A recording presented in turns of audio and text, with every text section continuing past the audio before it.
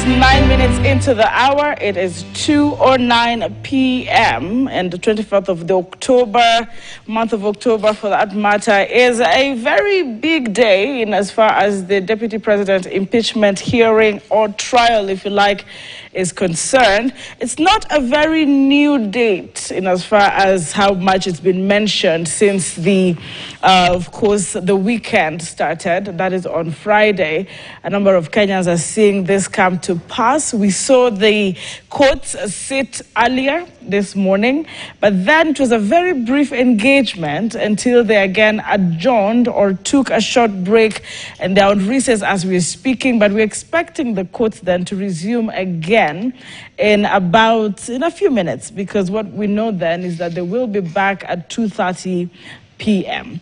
If they will extend that time, you are still covered because I'm here with legal minds, quite brilliant minds in that uh, regard. Also, they are. Um, political analysts, um, and I want to appreciate Paul Mugambi, who is a political uh, analyst, uh, for creating time to be here this afternoon, and also a lawyer.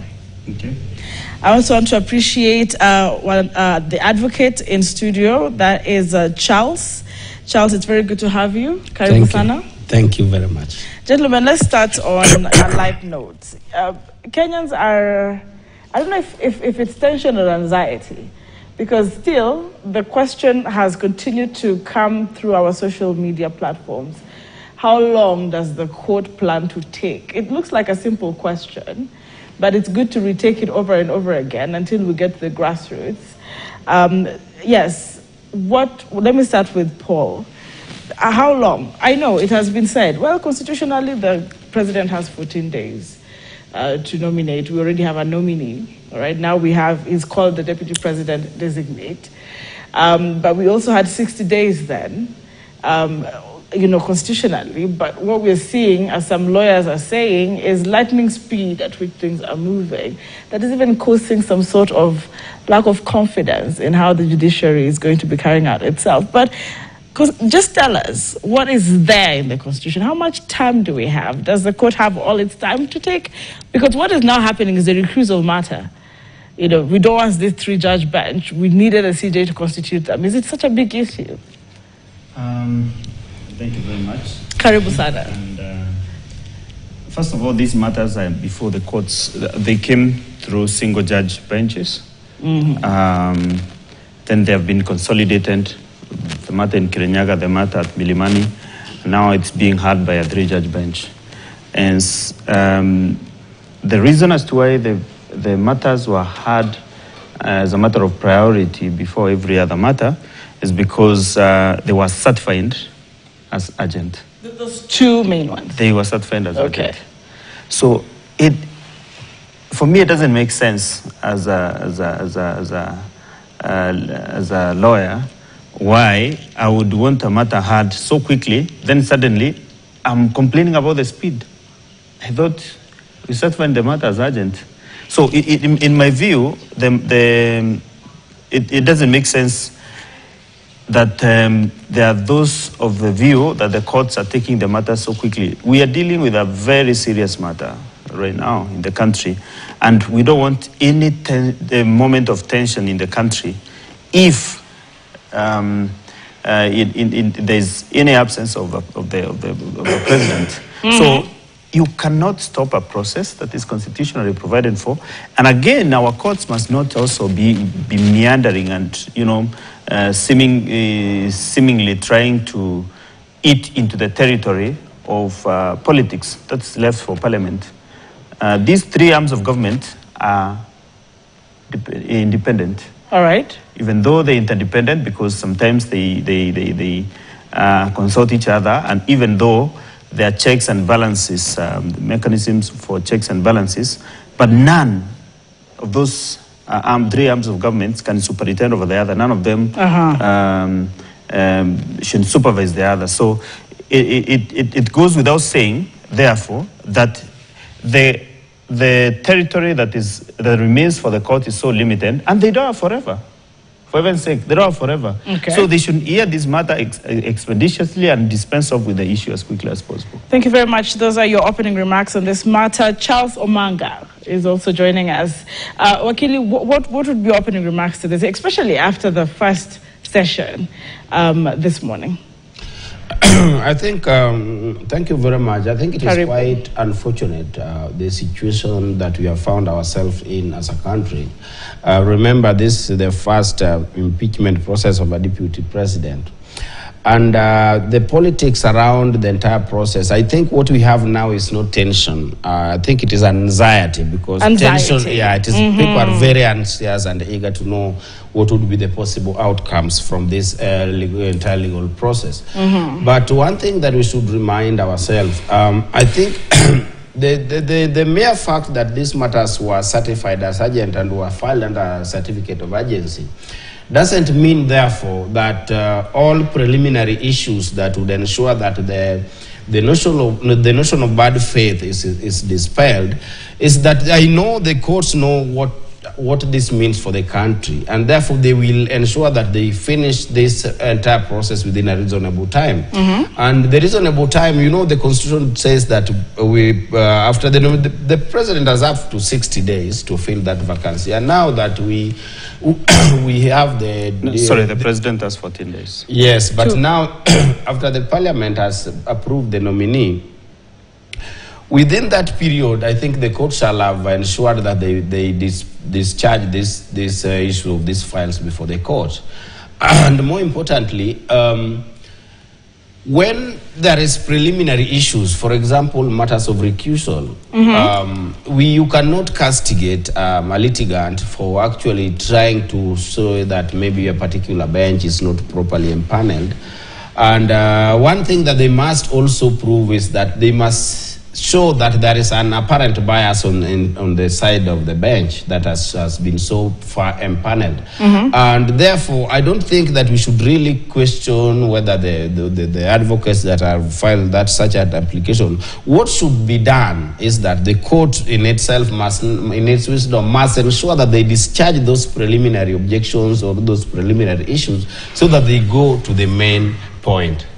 All right, so looking at what happened this morning, do you think that either the litigants and the judges are acting uh, in accordance to what you would expect as first a Kenyan and as an advocate? Do you think we're proceeding um, in good speed? In your observation, uh, Charles Omanga? I don't think we are proceeding in a good speed uh, because now that, that anxiety in itself is not good for the country because there would be those uh, resultant effects out of the entire thing. Uh, therefore, I would re- I would believe that uh, this afternoon um, the judges would come with a concrete decision that would allow this process maybe because hearing of those applications because uh, you know um, there is no so much that the court is going to deal with. What the right. court is going basically to deal with are three major issues. One is whether uh, the process uh, uh, entailed what we call procedural fairness. The Was process of impeachment? Yeah, the, the procedural was there any procedural misstep? If the court, the uh, the constitution provides that during the entire process, this is the procedure. Was there any procedural missteps?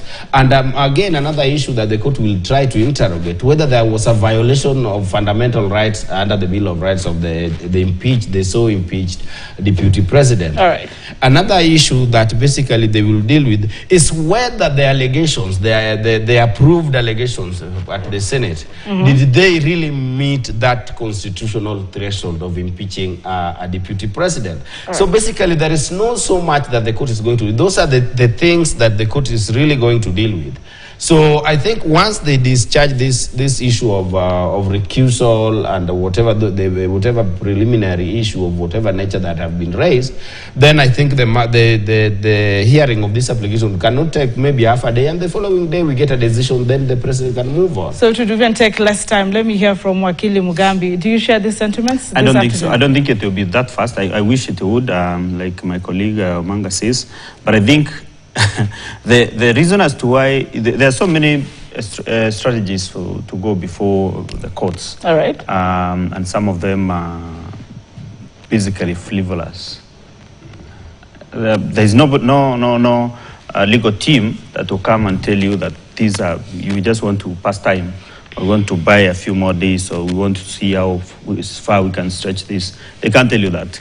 So, um, based on what happened on, on, on Tuesday and Wednesday, when they went for the hearing about um, um, the empanelment and the time that was taken there, And the sitting- uh, um, eh, we're talking about the substantive matter now, All right. because the substantive matter uh, is yet to be to be you know uh, the, the the sets of uh, parties have not even responded to it, but the uh, main application right now before the the the, the, the bench is about setting aside the conservatory orders. It's not about the main suit that were in Kirinyaga and in at Milimani High Court. That will come at a different stage because the Attorney General and the National Assembly and the Senate applied for setting aside of those orders. So that comes first. So immediately they deal with the, pre- they finish handling the preliminary issue of recusal um, because I think those are the primarily the two interlocutory um, applications that are before the courts. Um, they will go straight to the main suit, uh, the, or the suit of um, setting aside the orders. All right. And therefore, um, if the bench is convinced, um, by the way, you know, it's strange that on one hand, um, you'd want to get ex parte orders and set aside um, um, certain decisions made by an arm of government, ex parte orders, single judge bench, but three judge bench, uh, inter party, you don't want. That's why I'm interpreting it to mean, you know, this could be uh, their, their, their, their legal, their, their legal, the strategy for the, their legal team. You're, you're referring to the deputy president's legal team? Yeah, yeah. I Okay. mean, let's let's pass time. Let's see how far we can stretch this. You know, uh, we don't know how it go, but you know, let's let's let's stretch it as as as far as we can. Uh, it it you've seen those things. Some of the things you're seeing, you see them in movies, and some of the, those movies acted uh, in, in, in, like a court setup and those kind of things. So it, it, it's happening actually in our lifetime. so I am looking at it and I'm like, wow. Um, I don't think it will be that fast. Um, I'm looking at next week. Right. If, if they, they have to go to the, the, to the main issues, where the main issues here mean they are now past. Uh, the lifting of conservatory orders, Uh-huh. and they're now listening to the main suit. Or however, what might happen in between is that the, the, the bench might lift the orders. This same three judge bench, Of course, it's the next issue that they're going to handle. all right. And if they lift the orders, you know, the Chief Justice and the Registrar of the Judiciary, the CRJ, are at liberty to the order serves because it preserves the, the situation as it were. And if we were to allow and permit that let the bench lift the, the order, conservatory orders, what then follows, if at all, then the, the, the courts will find, uh, make a decision to the contrary of what the Senate did. Uh, and what would be now the remedies for, uh, for the, the impeached uh, deputy president and the, the, the newly sworn in deputy president. So this, uh, we find ourselves in a legal conundrum that really calls for sobriety. And that therefore uh, now prevents what we call judicial activism. Judicial activism rendered um, in, a, in a, a better language is where certain judicial decisions are influenced by personal, poli- personal philosophies of the, this, the said judge that is uh, uh, sitting. And when we put uh, the, the uh, politi- we allow politics now to go in, you know, the Senate thing, the National Assembly, those who are entire process, those who are political processes. All right. But now what we are faced with is now a legal process. And there are those legal dictates that must be adhered to. Therefore, um, I think uh, we should not say once they come in and we get a decision whether they recuse themselves or not, because the, the, the Chief Justice is there. The um, um, empaneling a bench does not take even more than an hour. You just say uh, Charles Omanga, Mugambi, and so and so. We go handle these files. So then, Wakili Charles, allow me to just uh, interject. Uh, Then we have we saw this matter discussed yesterday. Yeah. The, the, the judges were very clear on, on their stand. They said the DCJ, Philomena Mwilu, can carry out administrative functions of the CJ. Yes, they, of they, they, they defined and they said that this particular legal teams that are not okay with the empanelment are pretty much, um, they refer to them as as uh, not, not being very objective at this point in time. That was clarified by each judge who, that spoke. I'm talking Yeah. about Justice Eric Ogola, Justice Anthony Mrima, Justice Fred, they, Fred uh, Mugambi. They said they have been properly empaneled. I agree with the, that decision uh, because uh, indeed uh, under Article 165 uh, 1b so it permits the D- DCJ to uh, execute such functions uh, or those administrative functions. Then why, why, is, why is there this kind of uh, still what you call anxiety if that is as clear as it is? What I'm saying is, you know, uh, the various those who raised that made that recuse application for Yes. recusal, Yes. uh, majorly, uh, as I was following, they were majorly lying on the power of the DCJ to empanel a bench. Uh, what means that, therefore, uh, and more importantly, so also is the fact that. Um, if their grounds for recusal was maybe based on my maybe past conduct of either uh, one of the, the people, the paneled bench, one of the either of the judges, or maybe there is that glaring and apparent bias towards the litigants before the court, then right. that would actually be form the the major ground for recusal. So I think the judge, the, the bench in its wisdom would come up with a proper decision that would guide this entire process so that we can conclude it as fast as it we could. And uh, me, my worry is only by the, this application to lift the, the orders. What, what to lift the conservatory orders. What would it mean, uh, for example, um, that they will they will make a finding that he was not properly impeached? Would we now again remove uh, Professor Kithure Kindiki as being deputy president of return uh, Rigathi Gachagua? I think that would be something we, we will be calling, let me loosely, sorry, we will be breaking the virginity of the judiciary.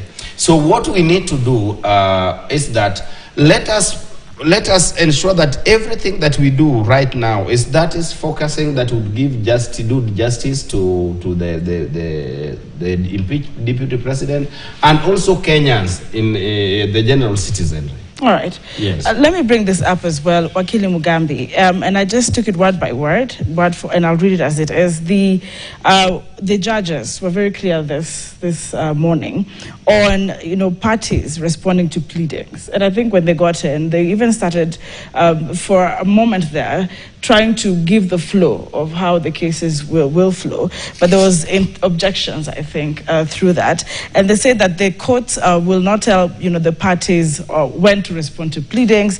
However, they should avoid taking the courts in circles. This, this was very clear this morning from one of the judges.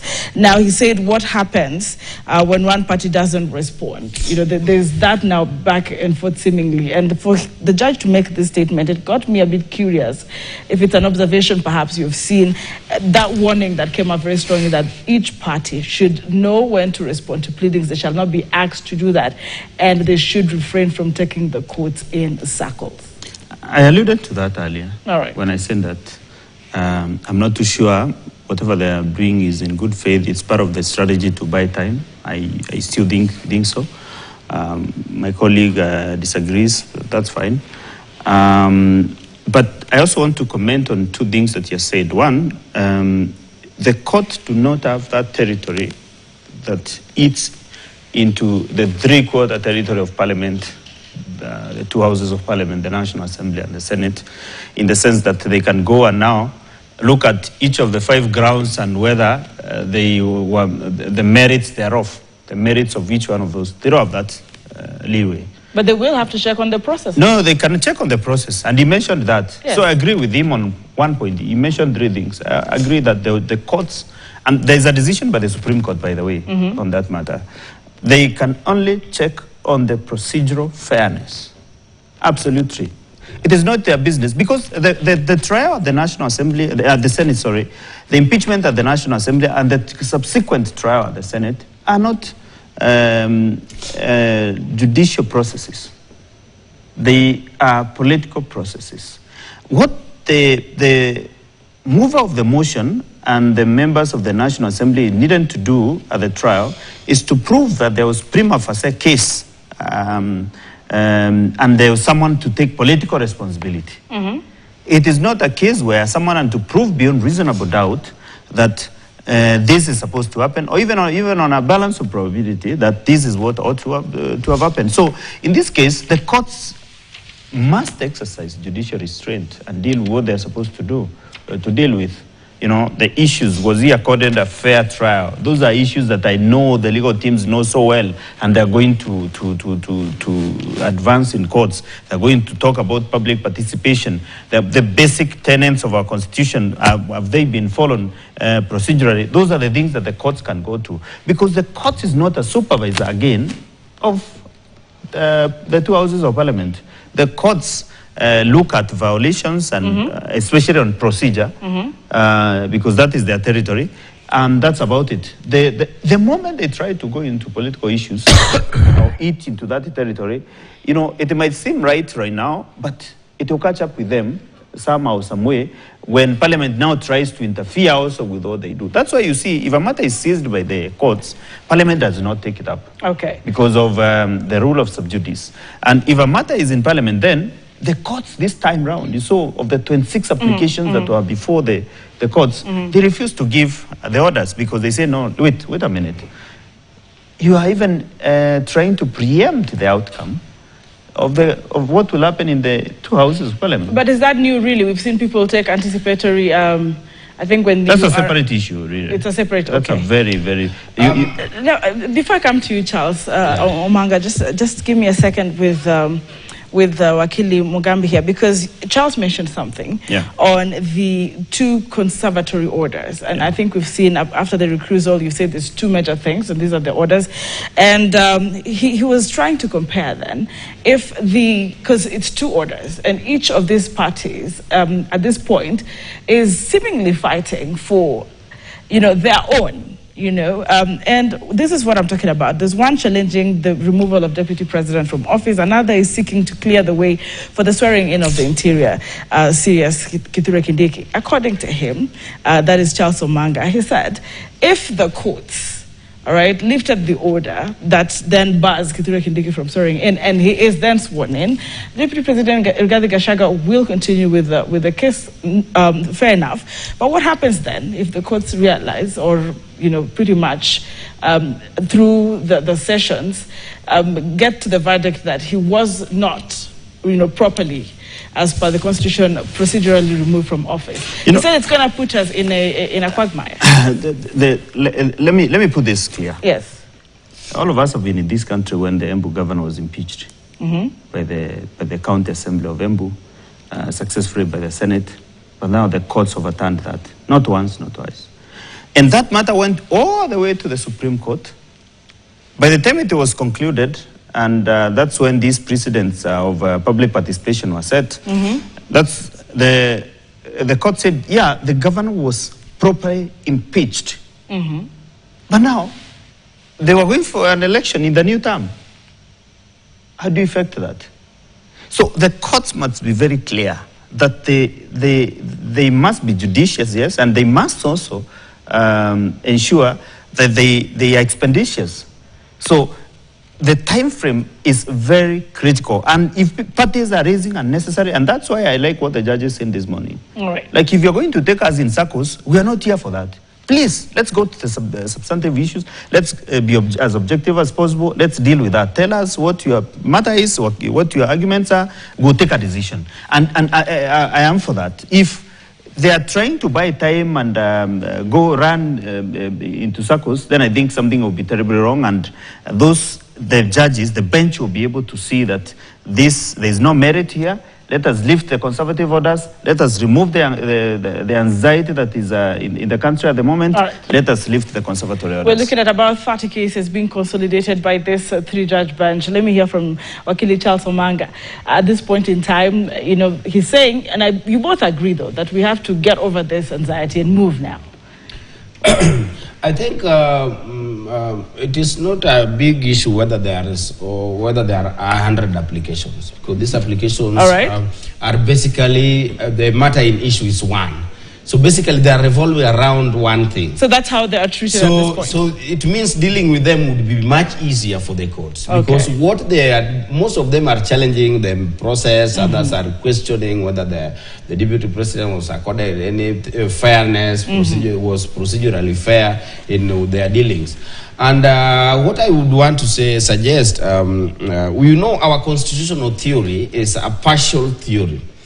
And that is why you see, uh, I would not agree um, entirely with my colleague here, Mr. Mugambi, when he says that the courts will be wading into politics. What is now before the, the courts is no longer a political issue. The political issues were dealt with at the National Assembly and the Senate.